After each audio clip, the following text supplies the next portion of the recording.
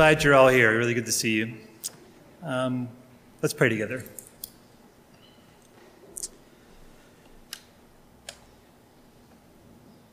Father, we thank you that we can come to this place to, uh, to be together. Uh, we miss that so much. And so we thank you, Lord, for this opportunity we have to share with each other, to encourage each other.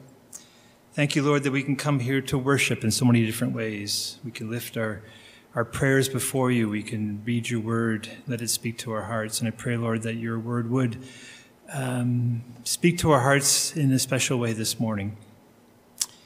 Thank you, Lord, for keeping each one of us safe. Thank you, Lord, for keeping those we care about safe. I mean, we just pray for your continued hand uh, upon us and upon our families. And um, we just pray, Lord, that you um, would forgive us for the things that we've done this week that have hurt you, hurt others, and hurt ourselves. Forgive us, Lord, for the things that we failed to do that you would have wanted us to do. Um, thank you, Lord, for your mercy. Thank you, Lord, for your grace.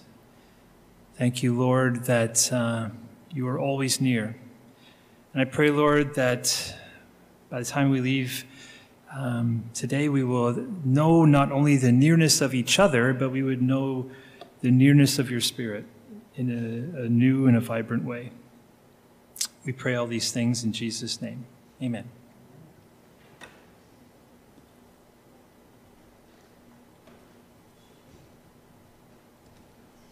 Good morning.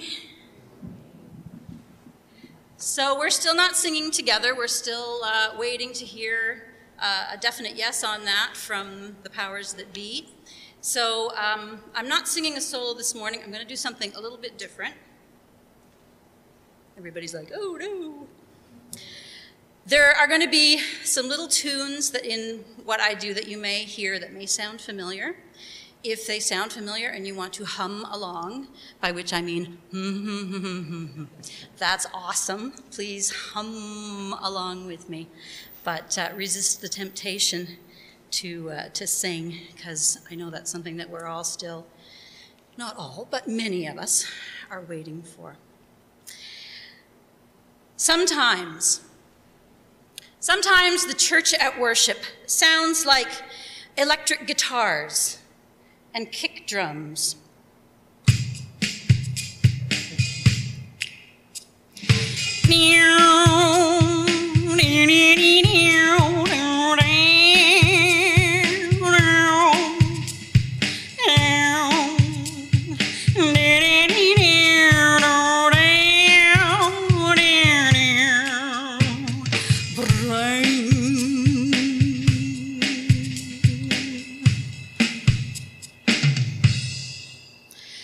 I will never do that again. Brownie's honor. Sometimes the church at worship sounds like the turning of pages in a hymn book. It sounds like an organ or a piano. And it sounds like four part harmony. Then sings my song, my Savior God,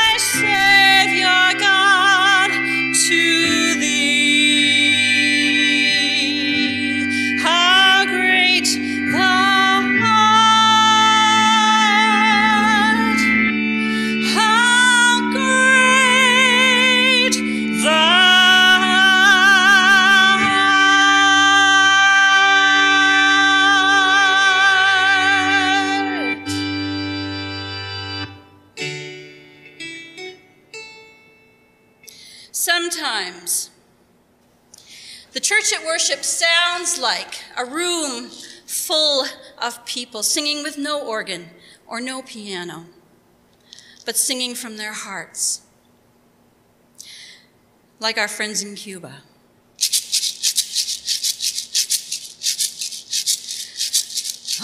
Aleluya, estoy adorando. Aleluya, estoy alabando.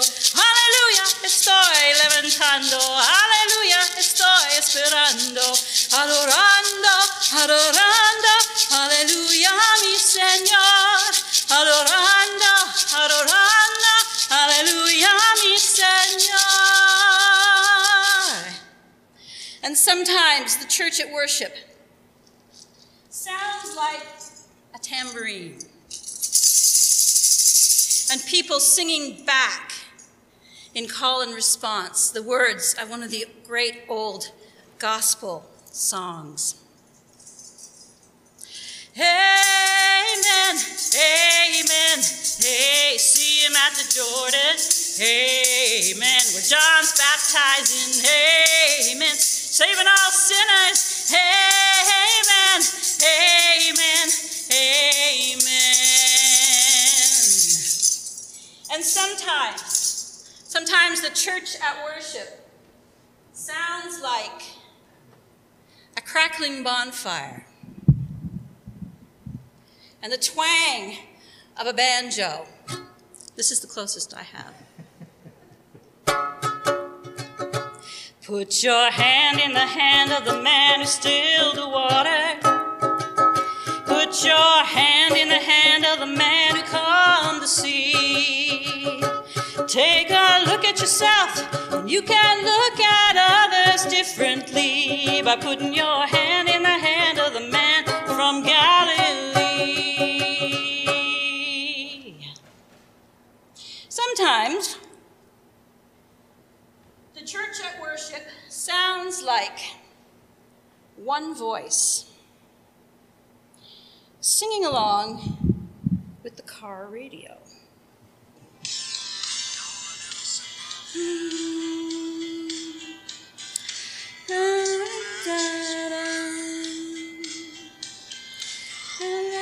Returning in the universe glorious.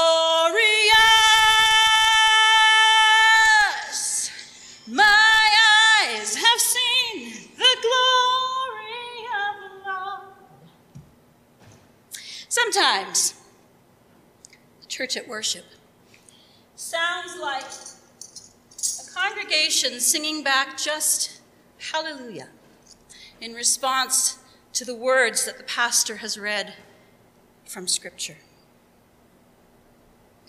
None of them that wait on thee, Lord, shall be disgraced. Show, O Lord, your ways to me and teach me your paths. Alleluia, Alleluia.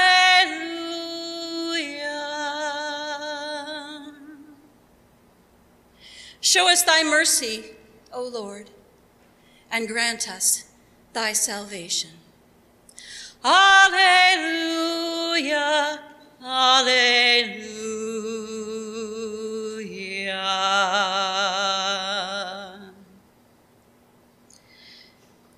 Sometimes the church at worship sounds like whispers, whispered prayers, whispered scriptures, because those words, if they are overheard, are dangerous and illegal. Whisper this prayer with me this morning Our Father, who art in heaven, hallowed be your name. Your kingdom come, your will be done on earth as it is in heaven. Give us today our daily bread, and lead us not into temptation, but deliver us from evil. For yours is the kingdom and the power and the glory forever. Amen. Sometimes the church at worship sounds like silence. The people who wrote the words of Scripture understood this. They understood that the church can worship in silence. They wrote things like, Search me, Lord, and know my heart. See if there is any wicked way in me. Man sees what is visible, but the Lord looks on the heart. I, Yahweh, says the Lord, I examine the mind. I test the heart. The word of the Lord is able to judge the ideas and thoughts of the heart. We can worship in silence. And we're going to take some time this morning to do just that. We're going to participate in something that the church has been doing for hundreds and hundreds of years a form of, it's called sacred reading. Sometimes it's called Lectio Divina, which is just Latin for sacred reading. And sacred reading sort of has four stages to it. We read, we reflect, we respond, and we receive. The reading part of it, we're going to read together a short passage of scripture that'll be on the screen. We will all read that together out loud. The second phase of it, reflect. I'm going to read a phrase and then pause for a moment, and then read another phrase and pause, so that in reflecting on these passages of scriptures, you can look at themselves and see your own reflection. See, do you see yourself? Do I see myself in these words? Is there something in this passage of scripture that is for me? The third phase of it is responding. We will take a minute to just sit in silence and pray. Talk to God. Be very intentional about talking to God about what it is that you saw of yourself in these words of Scripture and see what He has to say to you about those things. And then the final phase is to receive. And I will just close in prayer and invite God to imprint these things on our hearts. So we begin by reading together these words You have encircled me, you have placed your hand on me. This extraordinary knowledge is beyond me. It is lofty. I am unable to reach it. Where can I go to escape your spirit? Where can I flee from your presence? If I go up to heaven, you are there. If I make my bed in the grave, you are there. So those words will stay on the screen. But I want to encourage you to, to close your eyes if you're comfortable doing that, to just take some time to think about these words as we hear them, as we pray them and as God speaks to our hearts.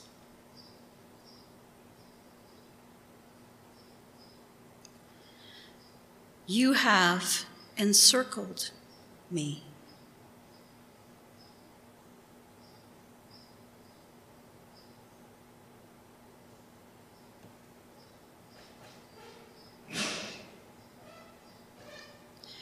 You have placed your hand on me.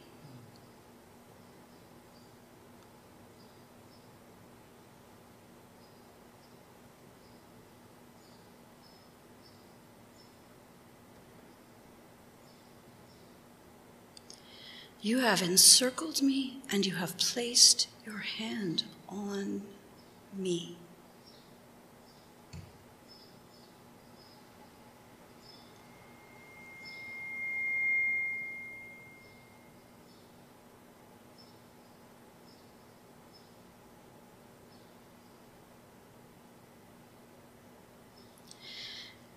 This extraordinary knowledge, this lofty knowledge.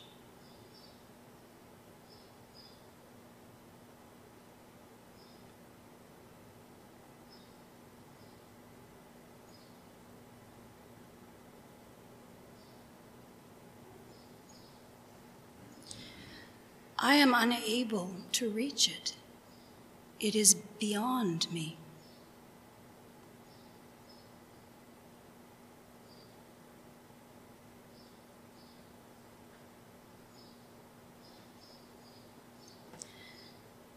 This extraordinary knowledge is beyond me. It is lofty, and I cannot reach it.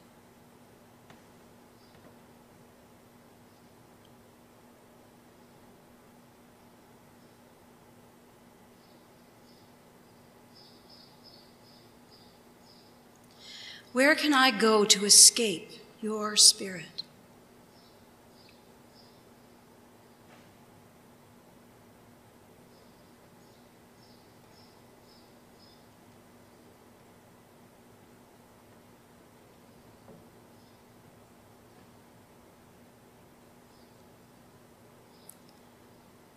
Where can I flee from your presence?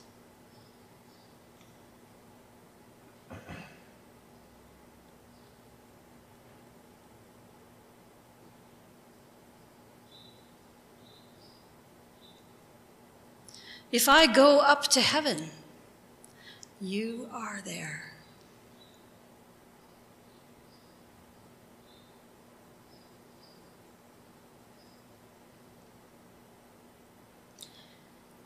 If I make my bed in the grave, you are there.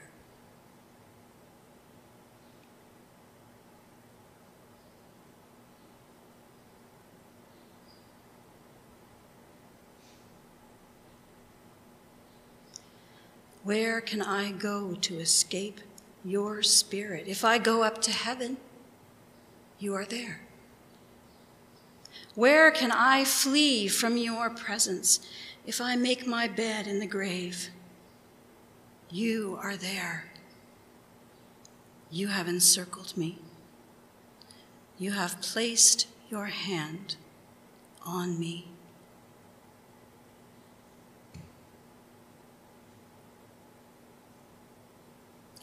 Let's take a minute just to, uh, to pray. Talk to God about those verses and see what He might have to say to you.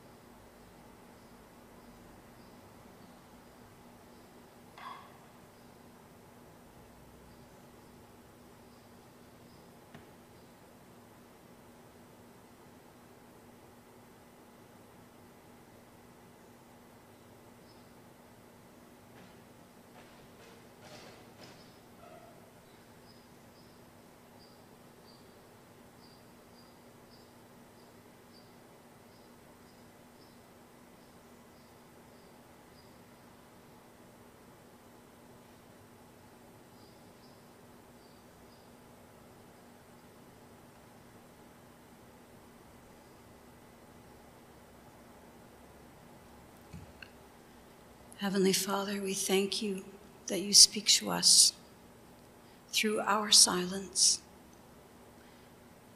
with your words. Thank you that you can fill our silence with your truth.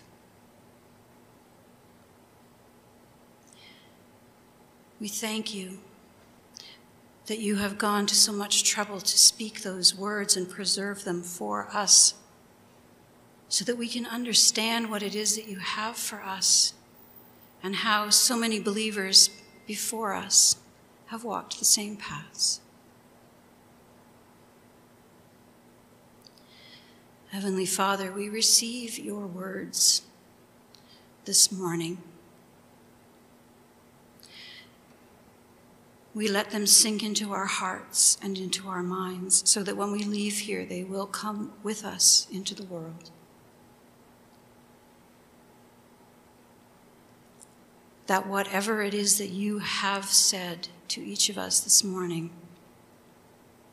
will still be there Monday morning and Tuesday and the rest of the week, no matter what is happening around us. Your silent words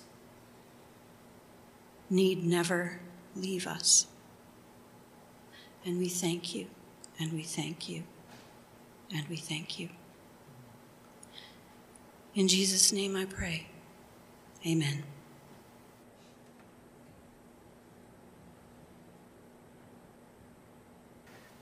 So, Ruth led us through a reading of a part of the first half of Psalm 139. Let me read to you the first 12 verses. You have searched me, Lord, and you know me. You know when I sit and when I rise. You perceive my thoughts from afar.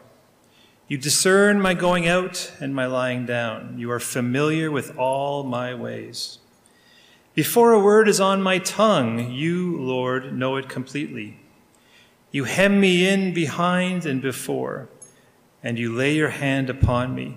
Such knowledge is too wonderful for me, too lofty for me to attain. Where can I go from your spirit? Where can I flee from your presence? If I go up to the heavens, you are there. If I make my bed in the depths, you are there. If I rise on the wings of the dawn, if I settle on the far side of the sea, even there your hand will guide me. Your right hand will hold me fast.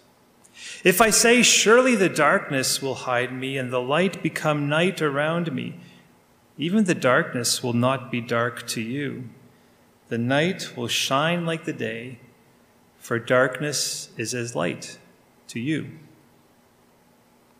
Lord, thank you for your word. Thank you for the Psalms that speak to our situation in our lives.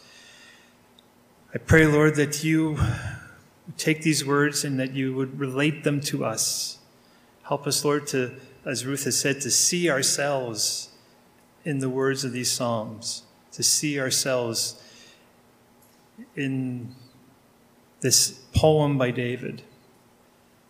And I pray, Lord, that as you guide us through seeing ourselves, that you would move in our hearts and help us to leave with something this day that would last for eternity. Lord, please give me the strength to do this. Take this time, it's yours. Do whatever you like with it in Jesus' name. Amen. So, the book of Psalms in the Bible is the longest book in the Bible, 150 chapters. It's actually 150 poems that were originally set to music. And of course, through history, the, the music is lost, but the words of the poems are still here.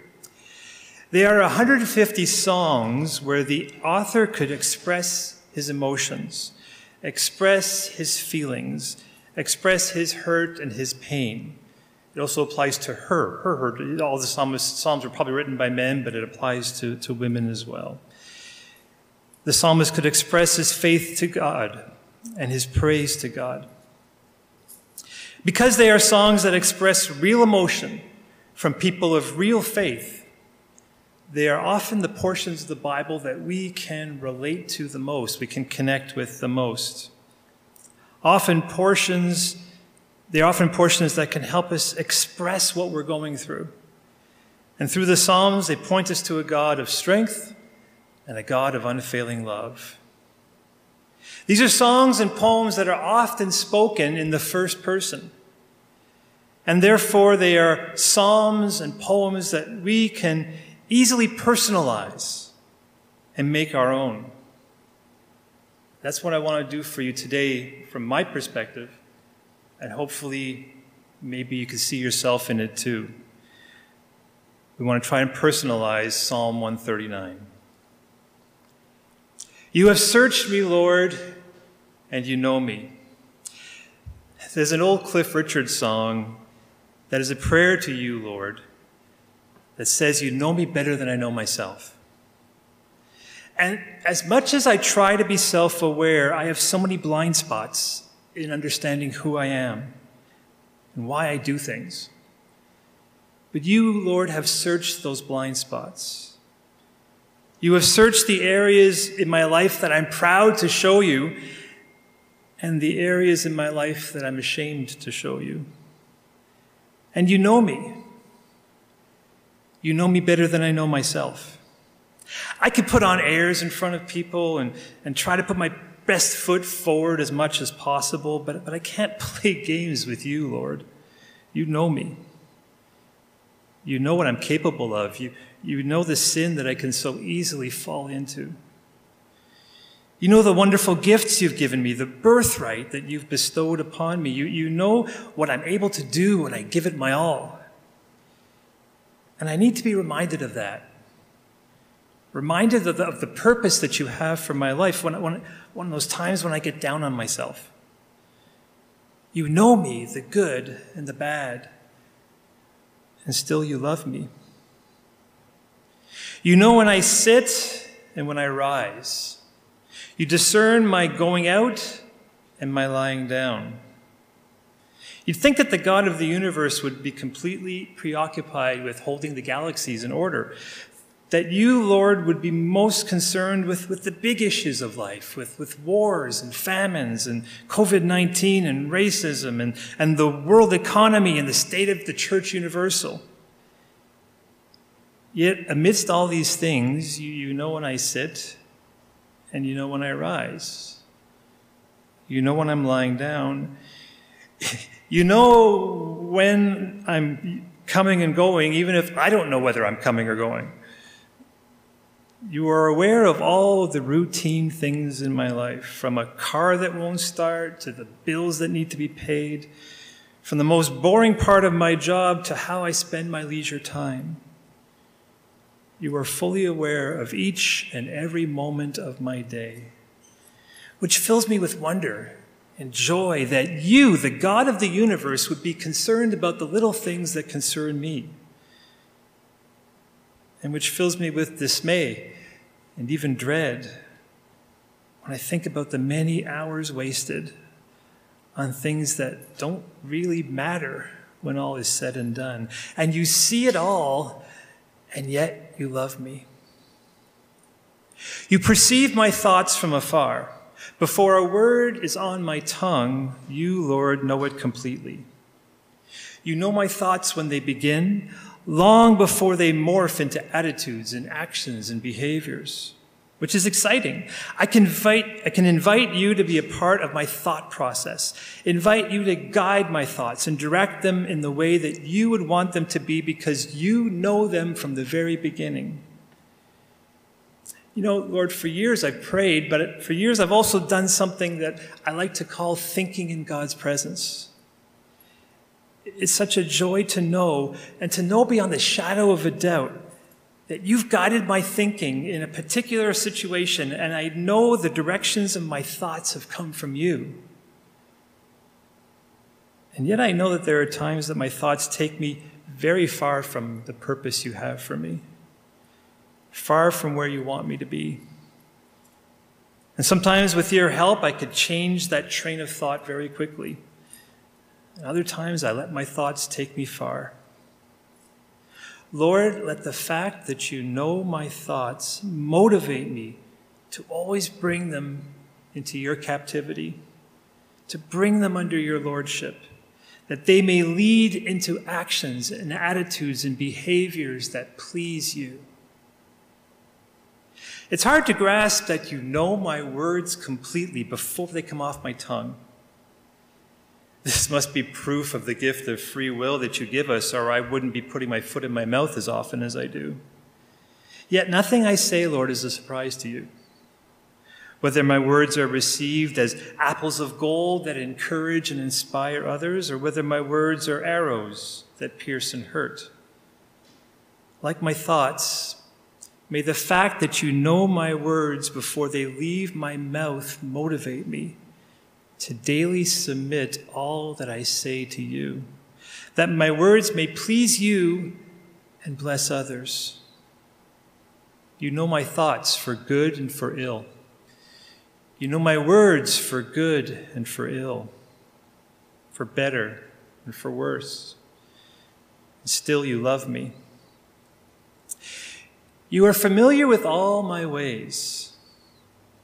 Lord, there's nothing better, I don't think, than really being understood, than being known for who you really are.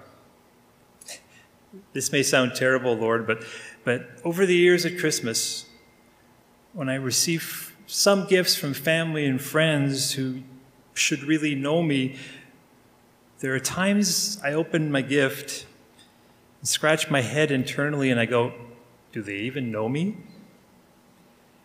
Then there are other times when a gift just hits the nail on the head and it's perfect. There's something especially profound in knowing that I'm known. And Lord, as a single person, there are times I feel that I'm really missing that. To know someone deeply by virtue of sharing my entire life with them. But I know that even married people can feel that deep loneliness that can come from not really being understood. Lord, I remember a music video I used to play for my youth in my youth groups, and it was called You Get Me. And Lord, I thank you that when no one else gets me, you get me. You know what makes me tick.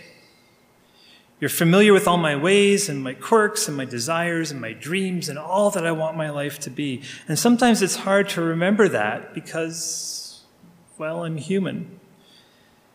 And sometimes being known by a human who is standing right in front of me can seem more tangible, more immediate, you know? But as much as another person can know me, as much as I can know myself, that pales in comparison with how much you know me and understand me. Lord, when I have a hard time understanding myself, please explain me to me.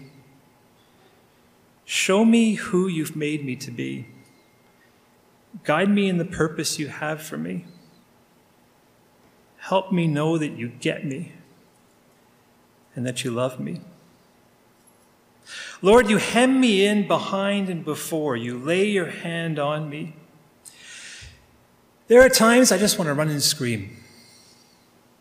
Times when I just want to get away from it all. And I know that it's in those times when I can become very vulnerable. And I get hurt.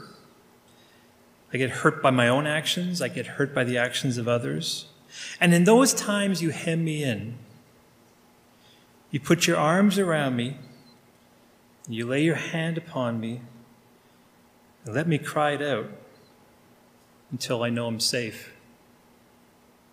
Makes me think. You remember that time back in Montreal at Tyndale when we took that group of inner city kids up north tobogganing?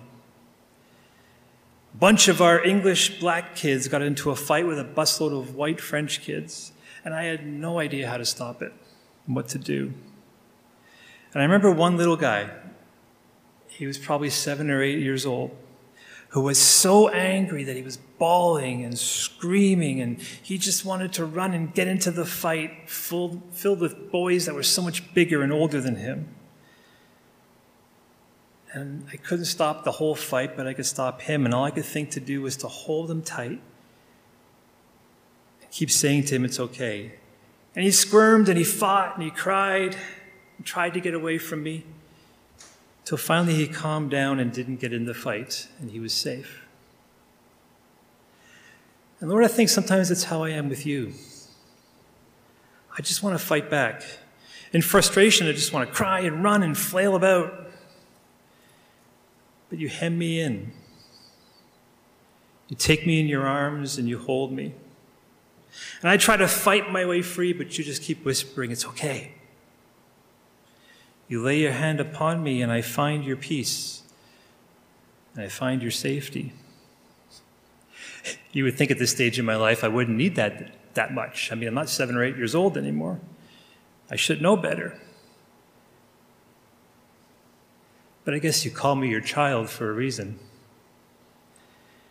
And even in those times when I'm kicking and screaming and crying to get away, you lay your hand upon me and let me know that you've got this and it's okay.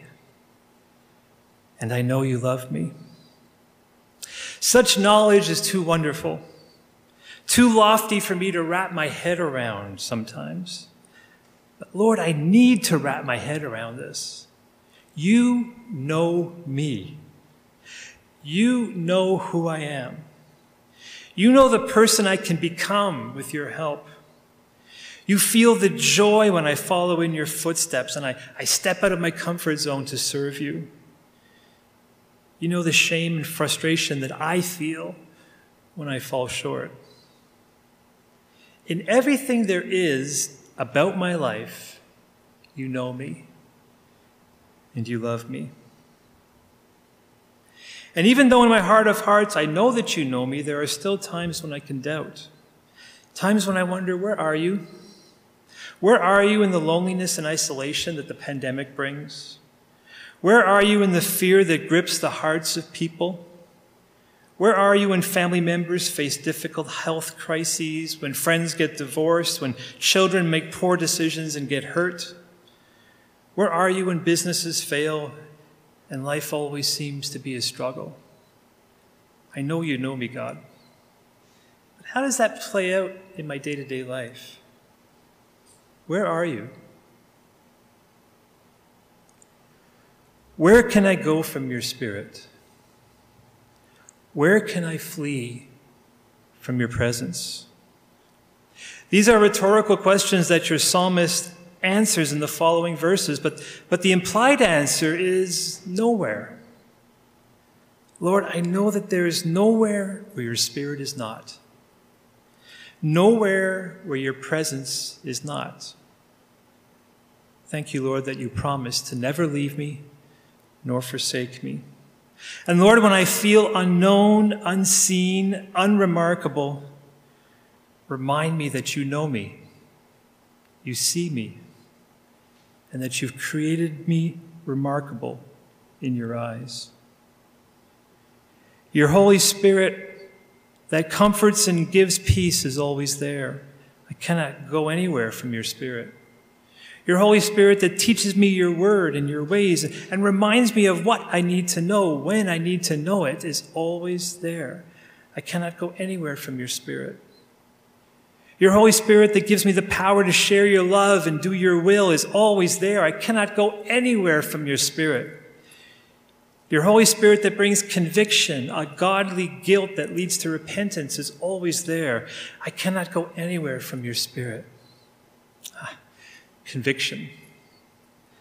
Lord, that's the part of your Spirit's presence that isn't always comfortable. But Lord, please never let the conviction end. Never let my heart grow cold towards your convicting Spirit. Take from me my heart of stone and replace it with a heart of flesh. Lord, thank you for those times when you were the hound of heaven, when you sought me when I was far from you and brought me home. Lord, I pray that you continue to be the hound of heaven for those that I love who are so far from you. They're on all of our minds every day, and yet even that does not compare to the thoughts that you think of our friends and family, thoughts that are as numerous as grains of sand on the beach. Thank you that our loved ones cannot flee from your presence cannot flee from the voice of your Spirit speaking to their conscience. And when they ask, God, where are you? May they hear a gentle voice from your Spirit saying, This is the way. Walk with me in it. Where can I go from your Spirit? If I ascend to the heavens, you are there.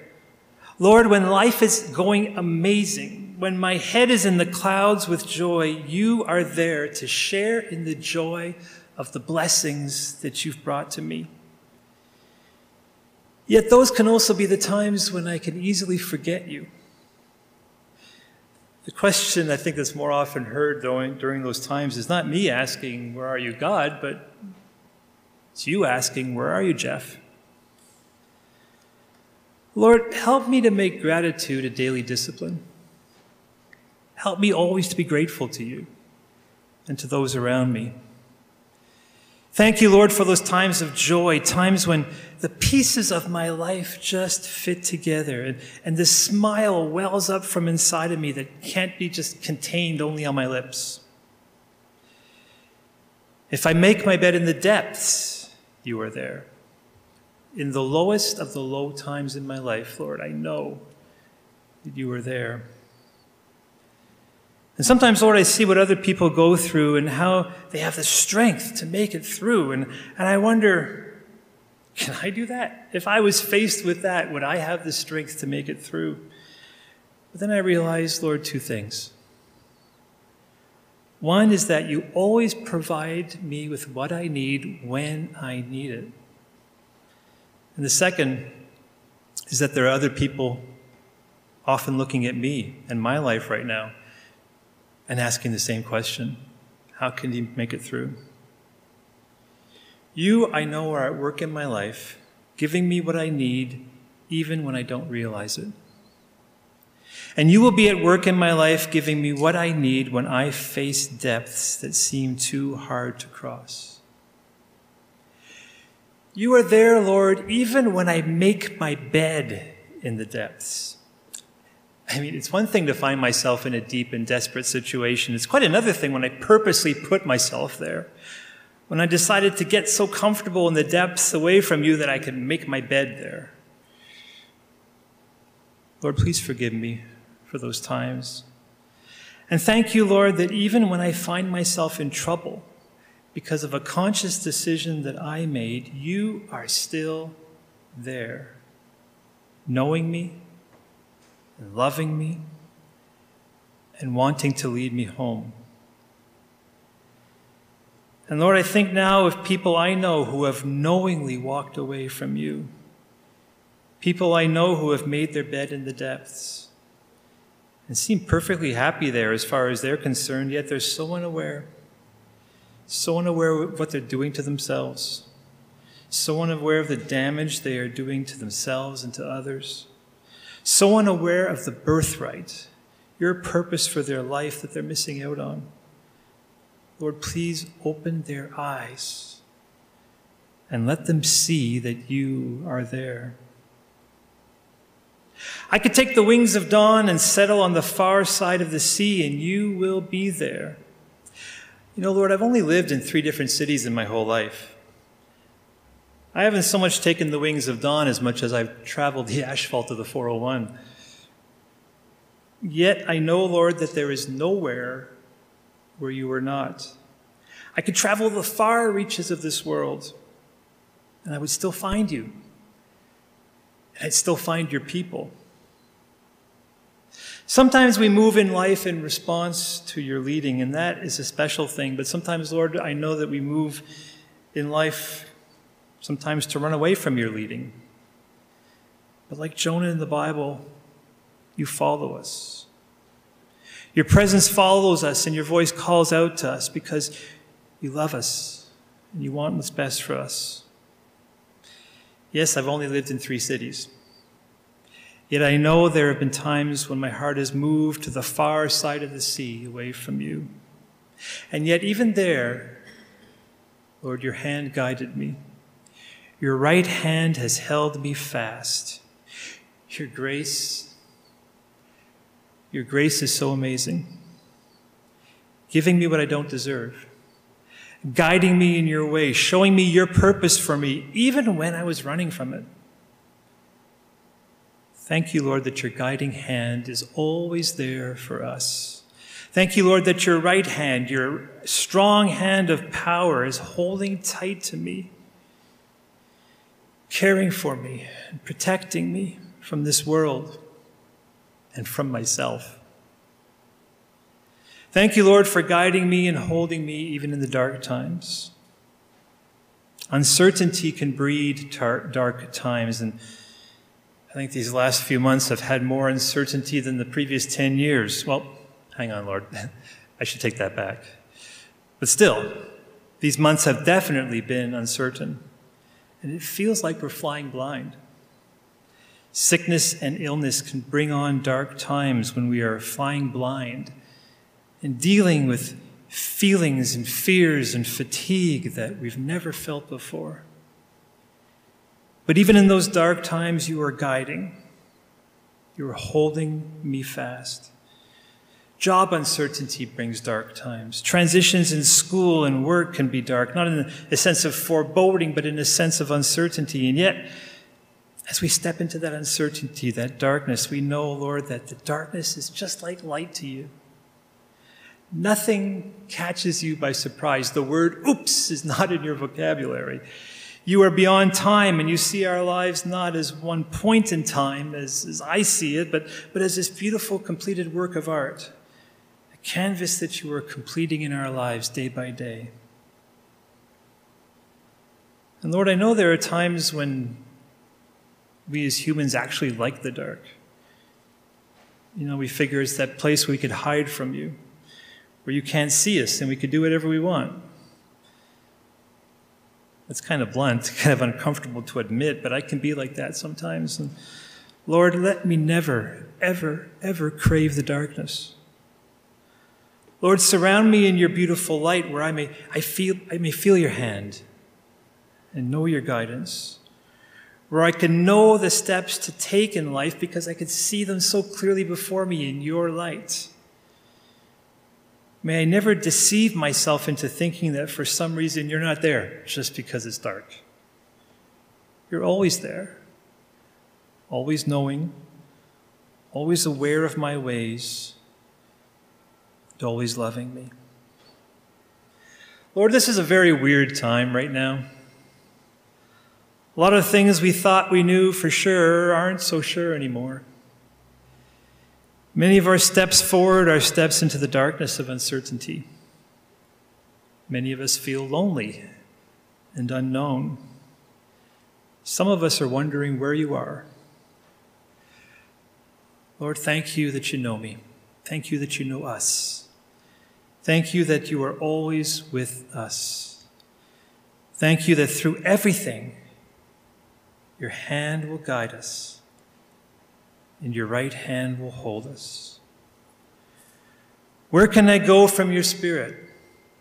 Where can I hide from your love? When I am hurting, it comforts me to know that nothing can take away your love. Nothing can take your love. Lord, we are so thankful that there is nowhere where your spirit is not. And we thank you, Lord, for your presence in this place, for your spirit that is here wanting to speak to us individually in a very real and powerful way, to remind us that you know us, you get us, you understand us, you love us. You walk with us through the routine parts of our lives. And even when times are dark, the darkness is as light to you. You are there guiding us. Your hand is guiding us, your right hand is holding us fast. And Lord, I just pray right now that as we spend a moment or two in your presence, pouring out our heart to you and listening to you, that the presence of your Spirit in our lives would be such a strong reality. And that you would speak to us and give us what we need now when we need it. Please take a few minutes in silence before the Lord. Let Him speak to you. Let this message become personal in your life.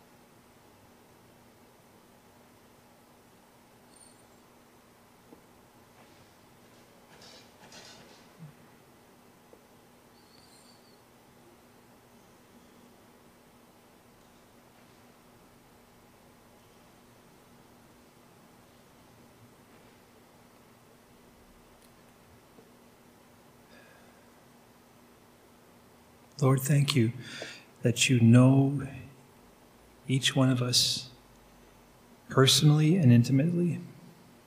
You created us, you understand us, and you love us. And Lord, I pray for each person in this room this morning. Whatever it is that they're facing, whatever it is that they're feeling with all this going on around us, that you would meet them where they are. That you would continually speak peace to their hearts and let them know that you're there. In those times, Lord, when we feel you far away, help us, Lord, to take that one step towards you, knowing that you'll take a thousand towards us.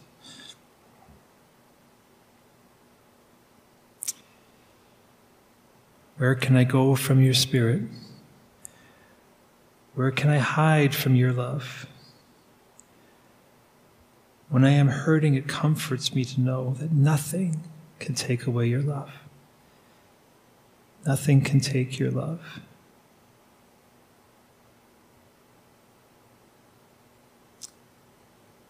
Thank you, Lord,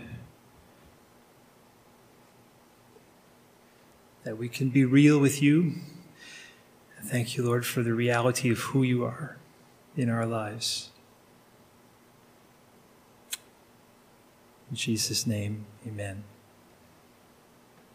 Amen. So glad you could be with us here today. And um, again, we can't hang around in here, but it's a nice, really hot day outside. So if you want to go outside and visit with each other, make sure you keep an appropriate distance. And uh, may God bless you this week. May you sense and know His presence. Half of you are already going ahead and doing it, so mask up. and we leave like we're leaving a wedding. So, Gary, you're leading us this, today. You want to just, everybody just at a distance, follow Gary out the door. God bless you this week. We'll see you next week.